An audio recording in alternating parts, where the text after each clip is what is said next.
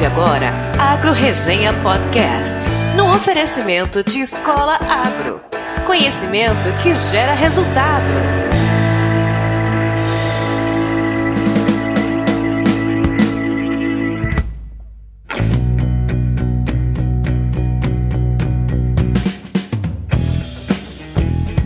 Olá, pessoal! Aqui quem fala é o Paulo Ozaki. Seja bem-vindo ou bem-vinda a mais um episódio do Agro Resenha. Como você sabe, a porteira desse podcast não tem tramela para quem busca se informar sobre assuntos ligados ao agronegócio.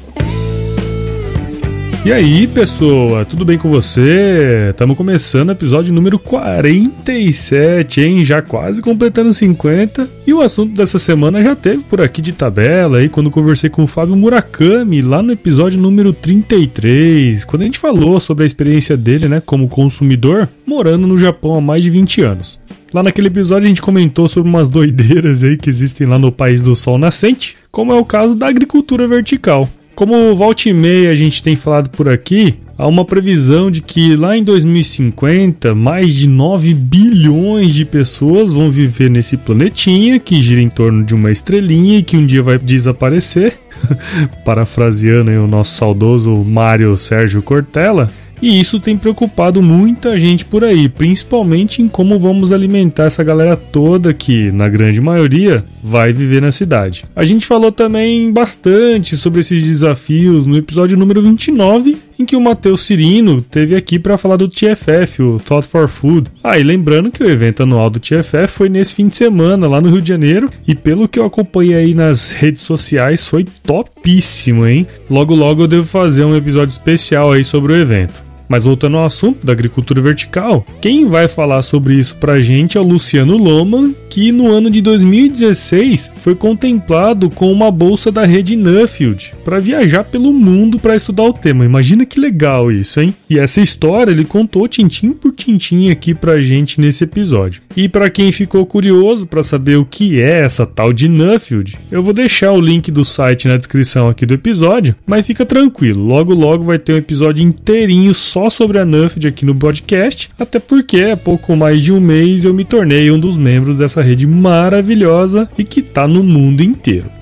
Mas antes de bater um papo com o Luciano sobre agricultura vertical, eu quero agradecer muito aos novos padrinhos e madrinhas do podcast, que são nada mais, nada menos que os meus progenitores. Sim, meu pai e minha mãe.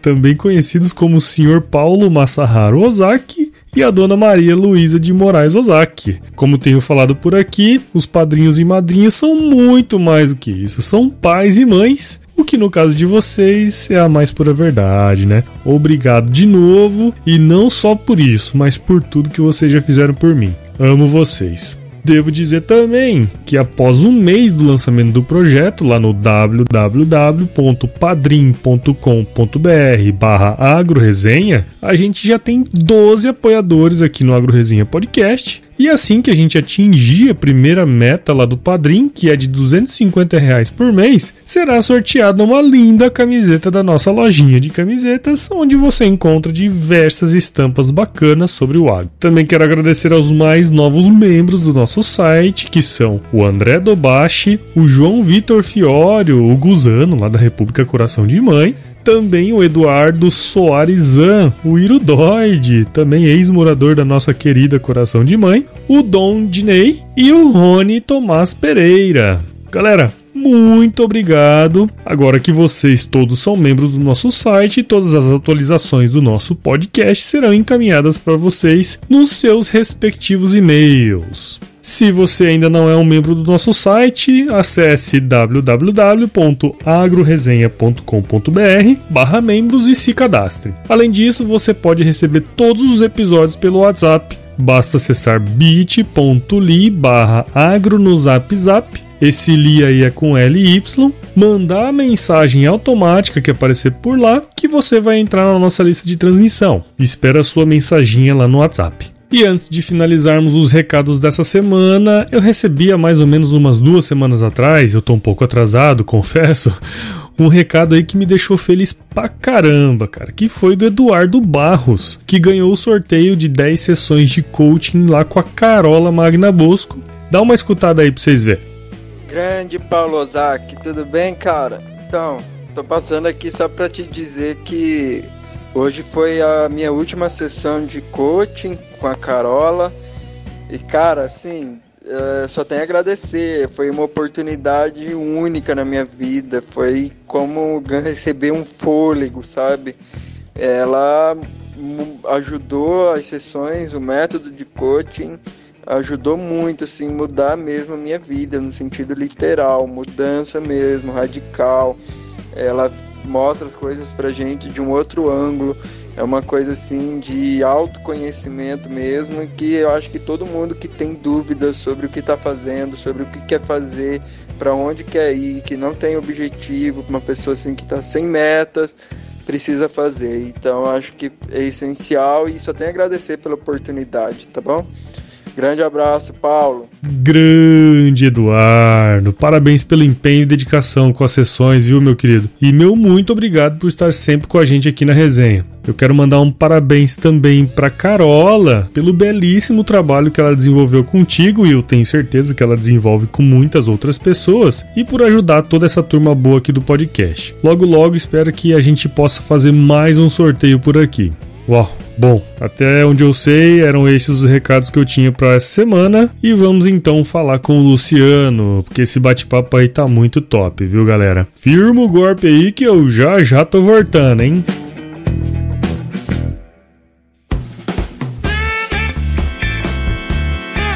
Pessoal, tô aqui de volta com o Luciano Loman, que faz parte da rede Nuffield e foi o segundo Nuffieldiano, né, aqui no Brasil a receber uma vaga para desenvolver um estudo relacionado ao agronegócio. Seu objeto de estudo foi agricultura vertical, que é um tema bem interessante e até já foi comentado aqui no episódio 33, quando eu conversei com o Fábio Murakami, que é ouvinte aqui do podcast e que mora lá no Japão e tem visto um pouco desse movimento acontecer por lá. O Luciano atualmente é diretor-geral de uma empresa multinacional ligada ao setor de monitoramento climático e previsão do tempo. E para minha grata surpresa, depois de ter lido o relatório dele, eu percebi que ele é formado em engenharia elétrica pela Universidade de São Paulo e também tem um pezinho aí na gestão de negócios pela St. Paul Business School.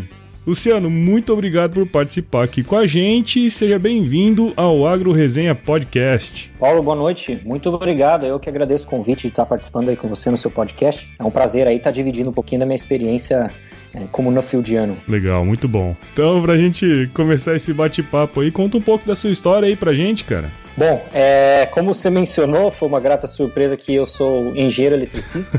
então, de fato, eu acho que eu fujo um pouquinho do, do caminho comum das pessoas que hoje trabalham aí com agronegócio, né? Isso. Mas eu sou, eu sou natural do Paraná, uh, sou de Castro, Paraná mais precisamente de Castrolanda, na colônia holandesa. Olha só, sério? Seu, sua família tirava leite lá, não? Todo isso, tira Olha, leite. Olha que maravilha, hein, cara? Tira leite, plantam grãos também, também trabalham com é, com suínos. É bem diversificado. Hoje Legal. meu pai trabalha com cogumelos. Ah, é mesmo? Já é um tipo de agricultura vertical. Olha só, você sabe que eu tenho um sonho de fazer cogumelo no sítio do meu pai, né? Só que Mato Grosso é foda. Que isso, vai ter um problema de climatização lá. Hein? Exato. Mas você sabe que eu trabalhei com leite um tempo e fui para Castro duas vezes, cara. Que lugar fenomenal, hein, meu? Ah, lá é incrível para essa atividade, viu? De fato é um polo do leite, dito que no Brasil, assim, é um lugar realmente de referência. Então, muito, muita tecnologia envolvida lá e o pessoal sabe muito bem o que tá fazendo. Que legal, cara. Bom, eu te interrompi aí, pode continuar. Ah, tranquilo. Bom, então, continuando a minha história, eu acabei saindo de casa para estudar muito jovem fui estudar engenharia elétrica. É, como sempre gostei muito de tecnologia, desmontava todos os brinquedos lá em casa, computador, sempre. Então eu falei, vou parar de causar problema, vou entender como isso funciona, né? Então eu fui, fui estudar engenharia elétrica, estudei na USP em São Carlos e logo depois disso eu acabei trabalhando em algumas áreas diferentes até que tive muita, sempre tive muita vontade de trabalhar no exterior. E numa dessas eu acabei trombando com uma empresa chamada Pessel Instruments, que está sediada na Áustria. E a Pessel trabalha hoje há mais de 30 anos com equipamentos para monitoramento climático, IoT para agricultura. Então, desde monitoramento de clima até monitoramento de solo, é, umidade, salinidade de solo, insetos, câmeras. Então, tudo que está relacionado de fato com internet das coisas para agricultura. É, o que a Pessel faz são equipamentos para suporte à tomada de decisão né, com dados em tempo real na mão do produtor para que ele tome decisões com base em fatos reais do seu próprio campo e elimine um pouco desse achismo, desse achômetro que fazia parte de muitas decisões. É, então, em 2012, eu fui trabalhar na sede da empresa, lá na Áustria. Eu passei um ano trabalhando por lá. E após esse ano lá na Áustria, a gente identificou que existia uma possibilidade muito grande de da gente estar mais próximo dos nossos clientes brasileiros, é, a gente precisava estar por aqui prestando um serviço mais próximo, adaptando os nossos produtos às soluções brasileiras. Então eu vim aqui para o Brasil e iniciei a subsidiária brasileira, que é a Metos Brasil. E hoje a gente opera aí uma rede de é, quase duas mil estações meteorológicas já no Brasil, é, em diversas frentes. É um, é um campo muito, muito interessante, me agrada bastante, porque de fato aí eu consegui juntar duas das minhas paixões, que são a tecnologia e também a agricultura. Né? Como diz aquele ditado que o bom filho a casa torna. Então eu voltei para a agricultura e hoje eu estou aí unindo as duas coisas nessa frente. Legal, cara, muito bom, bacana essa história sua aí, hein? E até uma pergunta que me surgiu aqui agora. Há poucos, há poucos episódios atrás eu conversei com, com uma professora de inglês, né? Que ensina inglês focado em agro. E a gente, durante a conversa, a gente estava comentando até que quando você fala inglês, algumas oportunidades surgem, né? Imagino que tenha sido o que aconteceu contigo, né? Olha, é, eu digo que o inglês foi fundamental. É, de fato, obviamente eu melhorei bastante o meu inglês enquanto eu estava lá, mas o inglês foi fundamental para começar os trabalhos, até porque alemão precisa nascer de novo, né? Então eu não fui falando alemão, eu fui lá falando inglês mesmo.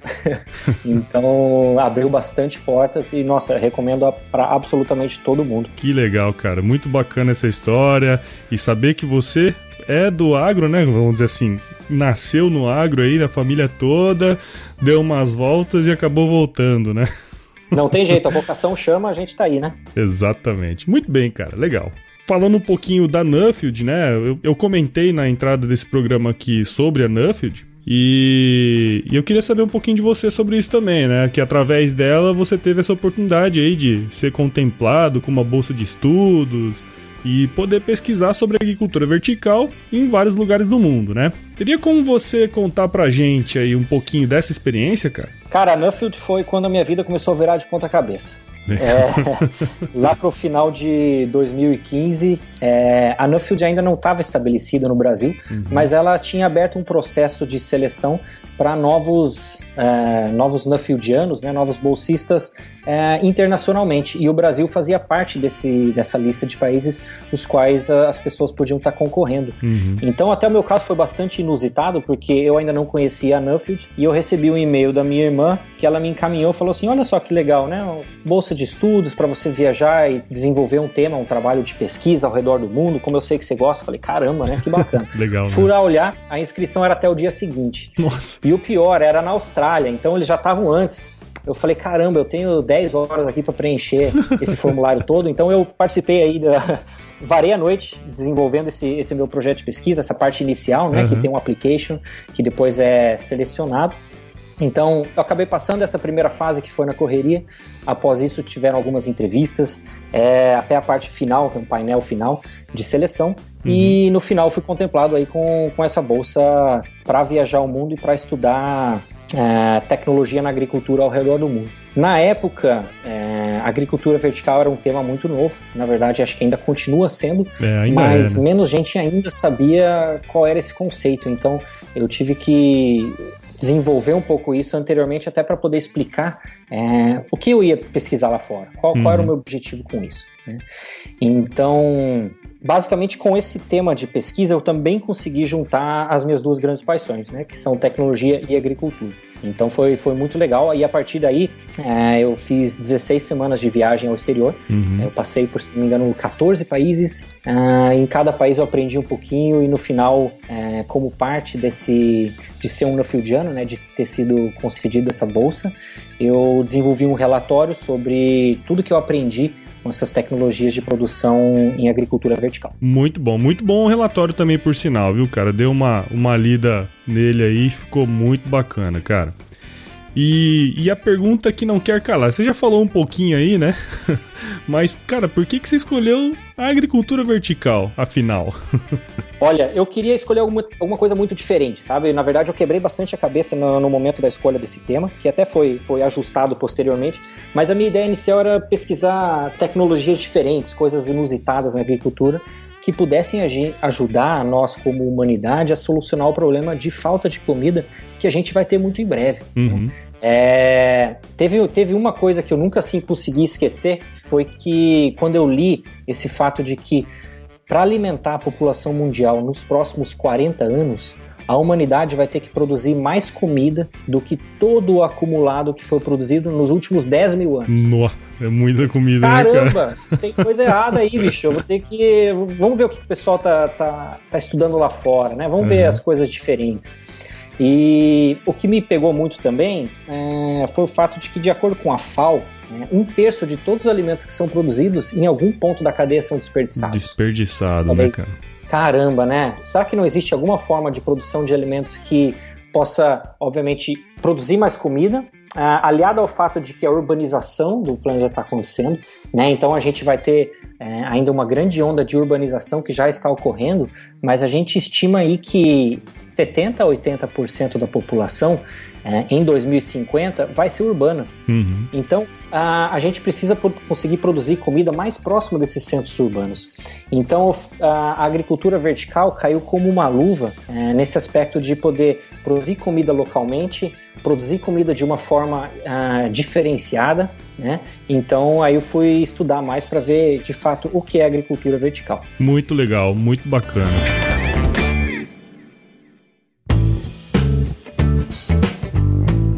E aí até você comentou um pouquinho sobre isso, né? Parece bastante óbvio que com a migração das pessoas do campo para a cidade, é, cada vez mais elas ficam longe da comida, né? Mas levando em consideração aí essas tendências aí que você comentou de crescimento populacional e consequentemente maior demanda por alimentos, na sua opinião aí, qual que é o principal entrave nesse processo todo aí? Olha, é, antes de falar de entrave de agricultura vertical, vamos, eu gostaria de falar um pouco assim das partes positivas. Tá? O entrave é o custo, eu já é. digo logo de cara. Mas uh, esse custo ele vem relacionado a vários fatores que são positivos em diversos mercados. Tá? O Brasil é um mercado um pouco diferente que depois eu posso comentar. Mas basicamente, se a gente estiver falando, por exemplo, de Estados Unidos ou de Europa, especialmente nos Estados Unidos, é, a produção de folhosas, ah, então vamos falar aí alface, rúcula, é, espinafre, essas folhosas, a maior parte da produção nos Estados Unidos ocorre na Califórnia. E se a gente pegar um, grande, um dos grandes centros consumidores, está do outro lado do país, lá em Nova York. Uhum. Então, todas essas folhosas precisam atravessar todo o país para que sejam consumidas, o que leva a um grande desperdício. Você tem produtos menos frescos, você tem emissão aí de gases carbônico uh, por conta desse transporte. Você tem diversas desvantagens e você está descolado o seu ponto de produção do seu ponto de consumo. Uhum. É, outra coisa que acontece muito em países uh, na Europa ou nos Estados Unidos, por exemplo, você não pode produzir o ano inteiro. Cara, aqui no Brasil a gente é abençoado pela natureza que a gente pode produzir o ano todo. É, a gente verdade. tem condições climáticas extremamente favoráveis, a gente não tem é, desastres naturais, a gente não tem inverno, a gente não tem neve, não tem nada disso. É, então, a gente então, tem maior sorte é... nesse lado aí, né, cara? Caramba, demais, demais. Por e... outros nem tanto, mas nesse aí é. nós temos. Se a gente conseguisse aproveitar todo esse nosso potencial, hein, bicho? Tá, é verdade. Enfim, vamos continuar trabalhando individualmente para a gente chegar lá como nação um dia. Né? Exato, né? exato. Então a gente tem a dissociação aí a, a, grande distância muitas vezes entre o ponto de produção e o ponto de consumo. A gente tem um, um, grande caso aí que é o caso climático, né? Então você não pode produzir o ano todo enquanto você tem demanda o ano todo. Né? Uhum. É, nós temos outras demandas de mercado, uh, especialmente nesses mercados mais desenvolvidos, que são por produtos locais. Tá? Então está uhum. tendo um grande, grande uh, desenvolvimento de mercado nesse aspecto. Tá? Aqui no Brasil, uh, essa questão de produto local ainda não está tão em alta. Uhum. Eu digo que eu, Eu, pessoalmente, eu acho que aqui no Brasil, o, o brasileiro padrão, o brasileiro médio, ainda tem outras questões mais fundamentais com que se preocupar. É, o brasileiro médio, primeiro, ele se preocupa em botar comida na mesa. Exatamente. Depois ele vai pensar de onde veio essa comida. Né? Em outros países, como ah, na Europa e nos Estados Unidos, e até mesmo alguns países na Ásia, é, essa questão de botar, produto, é, de botar comida na mesa já está resolvida. E aí eles podem pensar em de onde está vindo essa comida.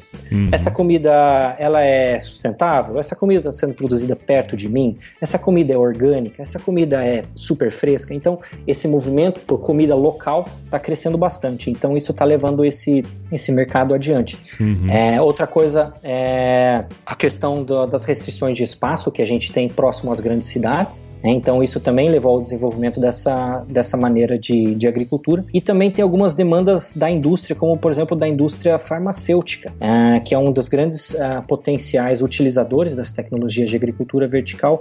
Por quê? É, outro fato que eu achei muito interessante durante as minhas pesquisas é que cerca de um terço de todos os medicamentos usados globalmente contém algum tipo de extrato de planta. Nossa. Então, quando a indústria vai utilizar esses extratos para a produção de medicamentos, obviamente esses extratos precisam ser padronizados. Você precisa saber exatamente qual a composição desse extrato, como ele foi produzido. Ele precisa ser produzido muitas vezes de uma maneira é, sem pesticidas, sem herbicidas, sem nada.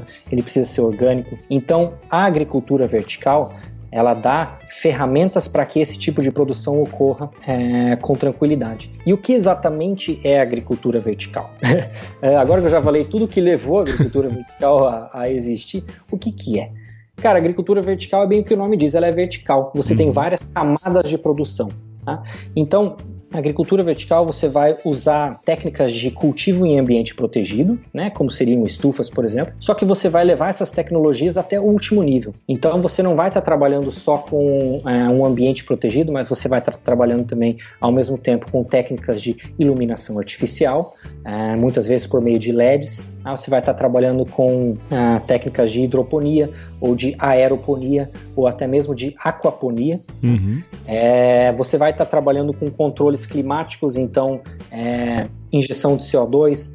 Você vai estar controlando absolutamente cada aspecto desse ambiente para você ter uma produção mais otimizada. E você vai fazer isso em múltiplas camadas. Então você vai ter várias fileiras de, de plantação empilhadas. Tá? Uhum. Então, dessa forma, você pode aproveitar é, ambientes subutilizados, o que torna isso é, bastante interessante para a agricultura urbana, né, para você produzir comida direto próximo ao centro consumidor. Então, a ideia da agricultura vertical é mais ou menos essa, e aí você pega cada uma dessas tecnologias e você usa o máximo dela. Uhum. Por exemplo, a iluminação por LED está chegando num nível fantástico de sofisticação em que os LEDs eles estão emitindo apenas o comprimento de onda que de fato a planta absorve. Uhum. Isso adicionado a outras técnicas como a aeroponia, Cara, a aeroponia é sensacional. E aqui eu já vou abrir um parênteses.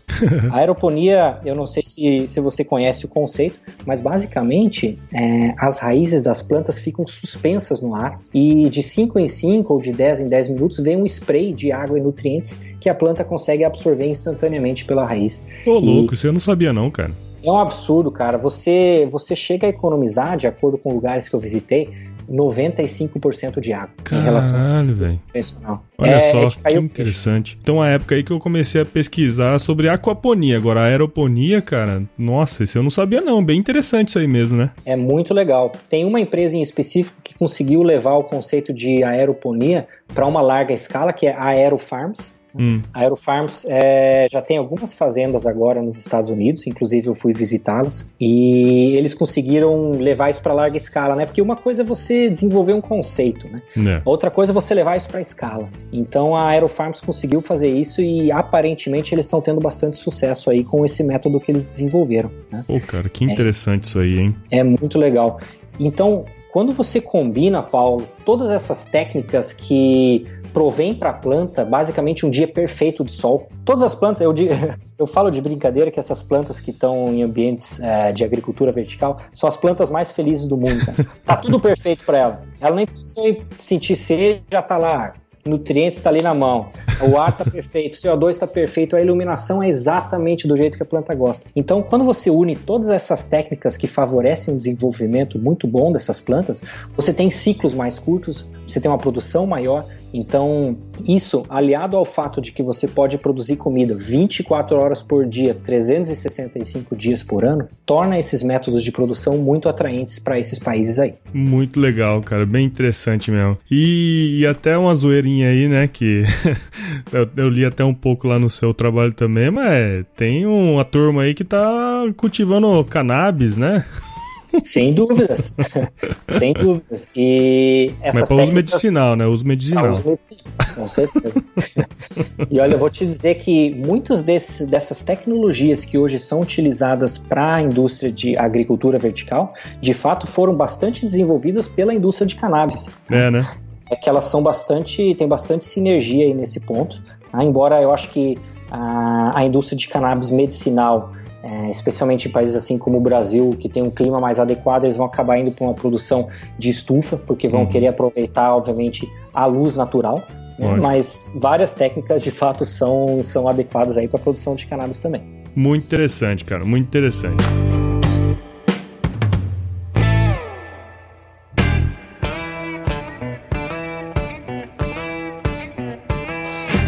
Acho que agora que eu detalhei qual, o que é agricultura vertical, vamos falar dos entraves. Obviamente que existem desafios, tá? São desafios uhum. bastante grandes assim a serem a serem vencidos. Por quê? Quando a gente está falando de agricultura convencional, a céu aberto, praticamente tudo a natureza já está te dando. A natureza está te dando o solo, a natureza está te dando o sol, a natureza está te dando a água quando chove, né? Depende do lugar. Uhum. Mas basicamente é, a natureza está provendo tudo para você e você está complementando as, as deficiências uh, pontualmente. Né? Num cultivo de agricultura vertical, você está tendo que dar tudo para a planta. Você está controlando o ar, a água, a iluminação, absolutamente cada aspecto está sendo controlado. Então isso gera um custo. Né? A gente tem um custo bastante alto uh, em capex, um investimento inicial em equipamentos, e depois você também vai ter um custo significativo com, com a operação é, com energia elétrica né? Porque especialmente em alguns países em que você tem que usar bastante aquecimento ou ar condicionado, uhum. isso também gera um custo. Então, o custo uh, é o principal fator que ainda dificulta uh, algumas iniciativas a terem lucro. Mas você tem outros fatores que garantem que esse tipo de operação vai estar sempre, vai estar sempre em funcionamento. Porque por exemplo, na Ásia. A Ásia é um berço de agricultura vertical. Infelizmente, eu não tive a oportunidade de estar visitando lá. Uhum. Mas, por exemplo, a maior fazenda vertical do mundo fica em Singapura. Ah, é? E o que faz total sentido, porque Singapura é uma ilha uma baita população, é uma grande densidade populacional. Ela não tem autossuficiência em produção de comida, obviamente. Uhum. Então, a produção de certos tipos de alimentos em Singapura é bastante interessante lá para eles como eu estava dizendo, na Ásia, você tem outros fatores que garantem que a agricultura vertical faz sentido para eles, embora o custo possa ser mais alto. Por exemplo, no Japão, depois da crise em Fukushima, é, intensificou-se a abertura de, de uh, fazendas para agricultura vertical, porque as pessoas não estavam mais confiando em plantar num solo contaminado. Né? Hum. Né? Então, é, tem esses outros fatores todos que permitem que a agricultura vertical possa ser rentável ou possa, no mínimo, fazer sentido para determinadas regiões do globo. Né? Então, por exemplo, é, em mercados mais desenvolvidos, como no, nos Estados Unidos ou na Europa, os consumidores, eles por padrão, eles já pagam a mais para comer orgânico. Eles uhum. já estão, já existe uma onda grande de orgânico. Então, você pagar esse a mais para comer um orgânico local, ok. Agora aqui no Brasil, é, já é diferente a pegada. Né? Aqui ah, no Brasil, né, um clima muito mais favorável. A gente tem a proximidade entre o centro de produção e o centro de consumo, como, por exemplo, é o Cinturão Verde em São Paulo uhum. ou no uhum. Rio de Janeiro. A gente tem produção o ano todo. Então, é, além do que, no Brasil, as pessoas não, no geral, obviamente existem exceções, mas no geral as pessoas não pagam tanto a mais para ter um produto local ou orgânico. Isso. É, então, é bastante diferente. O que, o que faz com que no Brasil para que você adote esse tipo de tecnologia, você tem que pensar em mercados de nicho. Então você tem que trabalhar com produtos mais específicos, com alto valor agregado. E aí vem o caso que uma das fazendas mais legais que eu visitei fica em Manhattan, no Nossa, centro de Nova York. De Nova existe York. uma fazenda. Existe uma fazenda. E é uma fazenda bem pequena e ela é focada uh, em especialidades para restaurantes high-end. Tá? Hum. Aqueles restaurantes super, super refinados. Para você ter noção, nessa fazenda eles plantam entre 150 e 200 tipos de plantas diferentes. Oh, plantas aromáticas, flores, comestíveis, temperos de todo o mundo. E naquele ambiente eles conseguem produzir tudo isso de maneira controlada e entregar. Cara, eles entregam de metrô nos restaurantes. Eles oh, escolhem e entregam na hora. Que legal, então, hein? É muito legal. E você comeu então, nos restaurantes também, não? Comi, não, comi só na fazenda. O restaurante não tinha grana. A bolsa não cobre isso aí. Não cobre. não, esses restaurantes que compram lá é 100 dólares o prato. Falei, tranquilo. Temos que falar com o pessoal da Nuffield aí pra começar a cobrir. cobrir restaurante chique. então, uh, cara, eu comi muita coisa diferente ali. Eu comi umas plantas que eu até tinha em casa, eu não sabia que era comestível. Achei que era Nossa. só uma flor de, de enfeite. Então, e esse modelo de negócio, uh, em que você está cobrando um valor mais alto porque é um produto, é uma especiaria, digamos assim, uhum. esse modelo de negócio poderia funcionar aqui no Brasil. Né? A gente sabe que São Paulo ou Rio de Janeiro, por exemplo, existem vários restaurantes em que os chefs também precisam de, de temperos, de ervas aromáticas e de coisas é, que eles gostariam de ter de todo mundo, mas que não, não tem acesso, então a gente poderia estar tá provendo aí com agricultura vertical. Né? Agora, uhum. produzir alface no Brasil para competir com ah, hidroponia, estufa ou, ou, cultivo aberto não tem jeito. É complicado, né? É complicado. Até interessante, cara. Eu até comentei no início uh, que eu falei com o Fábio Murakami, que mora lá no Japão, né? Já tem alguns anos. E ele comentou justamente isso, cara. Assim, tem uma época do ano que é justamente quando é a época do inverno, né? Uh, os preços entre uh, o produto produzido de forma convencional e os de fazenda vertical, eles acabam se equiparando muito, né?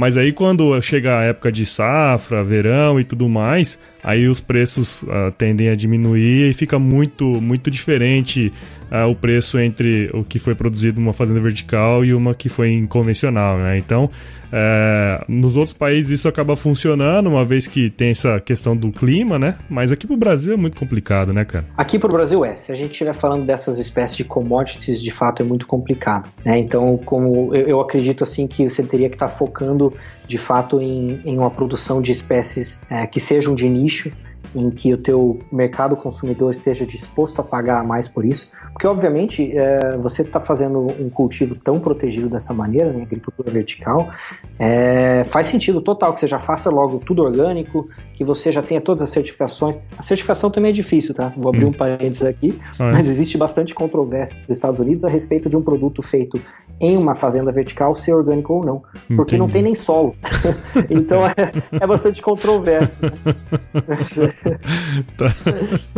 É, mas no fim as moléculas são as mesmas, né? A única forma. É. Bom, enfim. É, é, não vamos discutir essa questão isso, do né? orgânico aqui, porque ah, dá é pano pra manga, né, cara? Pois é. Mas é, é, engraçado, como assim, eu, eu conversei com diversas pessoas a respeito disso, e o pessoal que não tem um background ou que não tem um conhecimento é, agrícola ou agronômico um pouco mais acentuado, as pessoas já acham que agricultura vertical, eu tô mexendo com o meu transgênico, manipulação genética, é, e começo a botar um monte de abobrinha na cabeça e falo, cara, não, eu só tô controlando o ambiente, eu tô dando um ambiente perfeito para que essa planta cresça e se desenvolva ao seu máximo potencial. É, muito bom, cara. Legal, meu, muito legal essa, essa, essa sua viagem, essa sua experiência aí, né? E pra gente finalizar, cara, assim, na sua opinião, qual ou quais tecnologias existentes ou não, né? Que podem tornar a agricultura vertical mais competitiva no futuro próximo, assim. Olha, é, definitivamente vai ter bastante avanço tecnológico ainda nessas áreas, mas eu acredito que o que vai tornar isso mais competitivo é quando a nossa matriz energética puder nos oferecer é, energia praticamente gratuita e limpa. Uhum. Eu sei que isso parece Parece utópico, mas eu, eu, eu, acredito assim que se Nikola Tesla não tivesse morrido ainda, ele já teria desenvolvido alguma forma de coletar energia gratuita de alguma maneira. Ah, certamente. Mas, porque os, os grandes custos né, que você tem envolvido nisso são os custos de operação de energia. Então, uma vez que você tem energia barata e limpa, ah, com equipamentos que consomem menos energia também, com otimização de processos, você vai poder passar a produzir ah, esses alimentos de uma maneira bastante eficiente. Uhum. Eu acho que nós não vamos chegar ao ponto em que a gente vai produzir grãos, que a gente vai produzir uh, plantas com ciclos mais sim, longos. Sim. Tá? Isso a gente ainda está falando de ciclos mais curtos, que se desenvolvem rapidamente, que tem uma alta rodagem. Mas, de fato, assim que nós tivermos energia mais barata, e eu posso estar tá falando de daqui a 50 anos, vou uhum. saber. Mas eu acho que a, cada cidade maior assim vai ter pontos de produção urbana de comida usando uma, duas ou mais técnicas de agricultura vertical. Poxa, muito legal, hein? Muito legal. Vamos ver se a gente vai estar tá vivo para ver esse negócio ainda, né, cara? Ah, espero que sim. Até lá deve... Se tiver, eu quero me meter no meio disso aí. Até lá deve avançar a medicina também, né? As pessoas vão poder viver 150 anos e tudo mais. Isso, vamos em frente. Um cultivo vertical de seres humanos aí. Pois é.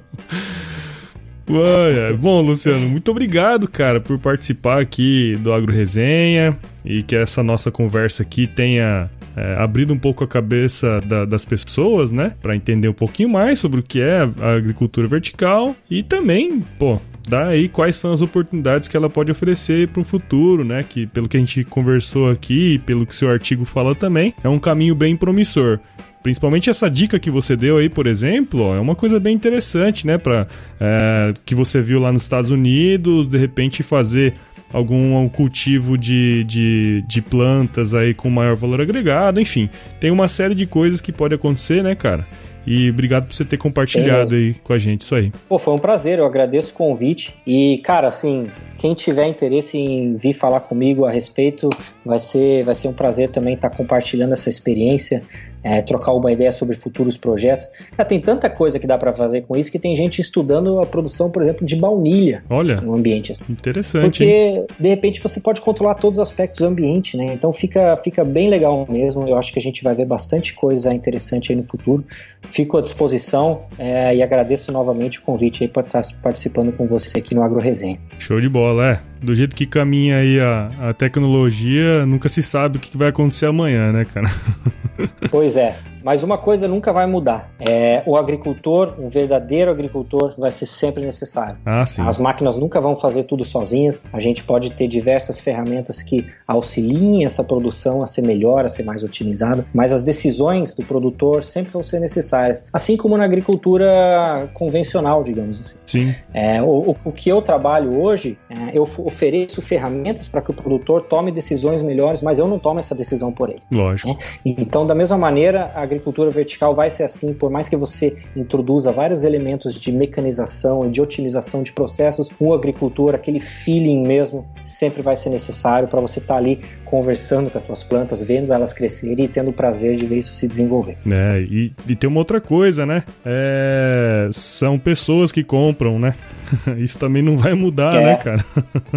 então, não vai mudar. É, então isso aí é uma coisa bem, bem importante a se pensar, porque nenhuma tecnologia vai mudar essa relação entre pessoas, né? Não vai. E é muito importante que a gente consiga aproximar é, as pessoas da sua comida, é, que a gente consiga diminuir a distância Uh, como diria o pessoal falava lá fora, from farm to fork, uhum. né, da fazenda até o garfo. Então, essas iniciativas uh, de agricultura urbana ou periurbana, como as fazendas verticais, são uma boa, uma boa oportunidade para aproximar as pessoas da sua comida e entender de que maneira elas estão sendo produzidas, como, como é uma planta, né, cara? Puta, tem gente que não tem noção das coisas aí. Pensa que o leite então, vem da caixinha, é uma... né? Isso mesmo. Ai, ai. Bom, cara, você já falou aí que você está disponível para trocar uma ideia, mas de qualquer forma aí, como que a galera aqui do Agro Resenha pode acompanhar o seu trabalho, você te seguir aí nas redes sociais? Como é que o pessoal pode fazer aqui? Olha, cara, por mais que eu goste de tecnologia, eu tô meio perdidão nas redes sociais, mas eu tô lá, tá? Você pode me procurar ou no LinkedIn ou no Facebook, Luciano Loman, uhum. tá? Então aí estou à disposição para continuar essa conversa a qualquer momento. Bom demais. Ah, e também, obviamente, pode procurar a Metos Brasil, ah, que está aí com os nossos equipamentos para o monitoramento climático e para para agregar tecnologia na, na, agricultura convencional.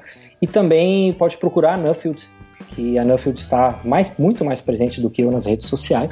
então pode procurar aí Nuffield Brasil ou Nuffield International, que pode se aproveitar para se conectar com todas essas pessoas aí que fazem questão de trocar ideia sobre várias e várias coisas. Bem bacana. Muito legal, cara, muito legal.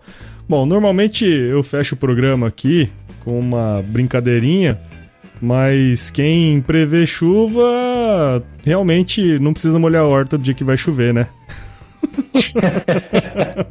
pois é, isso aí eu tô, tô à frente do tempo, tranquilo. Perdeu a graça agora, pô. É. é. Não, e eu, comigo ainda, pô, eu trabalho um com a previsão de chuva e dois com a agricultura vertical que não precisa de chuva. Então acabou. acabou. Não... Vamos encerrar o programa. Ah, vamos encerrar porque não vai ter que molhar mesmo.